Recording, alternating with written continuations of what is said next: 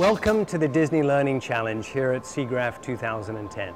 We've designed this venue around trying to find fun ways to present interesting learning topics to children.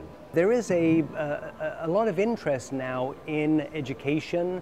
Um, parents uh, and teachers alike are looking for new and novel and engaging ways for children to uh, start getting connected with learning. So people got involved in this venue. Um, we did a general call for submissions that we sent out mostly through different schools, universities, faculty that we knew.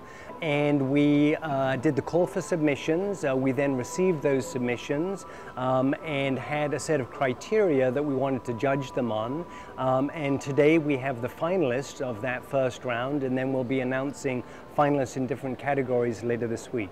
And so we'll be looking at all of the different ways that we reach out with education to kids and see if we can be inspired by this, learn from this, and potentially integrate these ideas into products that are coming up in the future.